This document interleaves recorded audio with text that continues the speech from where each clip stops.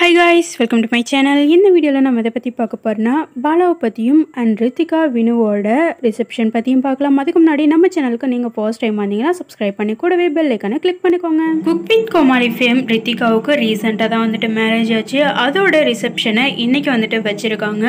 இந்த ரிசப்ஷனில் எல்லாருமே வந்துட்டு கலந்துக்கிட்டாங்க. முக்கியமாக வந்துட்டு குக் வித் கோமாளியில் இருந்த கோமாளிஸ் அண்ட் கண்டஸ்டன்ட் எல்லாருமே வந்திருக்காங்க. குக் வித் கோமாளியில் அஸ்வின் அண்ட் சிவாங்கியோட அவங்கவே ஒரு செட் ஆஃப் ஃபேன்ஸ் இருக்காங்க. அவங்களுக்கு எந்த அளவுக்கு ஃபேன்ஸ் இருக்காங்களோ அதே மாதிரி வந்துட்டு பாலா அண்ட் ரித்திகாவோட பேரிங்க்கும் வந்துட்டு ஒரு செட் ஆஃப் ஃபேன்ஸ் இருக்காங்க. ரித்திகாவோட ரிசப்ஷனுக்கு பாலாவையும் இன்வைட் பண்ணியிருக்காங்க. பாலா எப்பவும் போல அங்கேயும் போயிட்டு வந்துட்டு ஃபன் பண்ணியிருக்காங்க. பாலா போனதும் ரித்திகாவுக்கும் அவங்களோட ஹஸ்பண்டுக்கும் வணக்கம் சொல்கிறாங்க இவங்க பேசிட்டு இருந்த கொஞ்ச நேரத்துலேயே வந்துட்டு புகழ் குறுக்க போன மாதிரி வந்துட்டு அவங்களும் வந்து சேர்ந்து வந்து ஃபன் பண்ணியிருக்காங்க. ஸ்டேஜ்லேயே வந்துட்டு பயங்கரமாக ஃபன் பண்ணி கலாய்ச்சிருக்காங்க.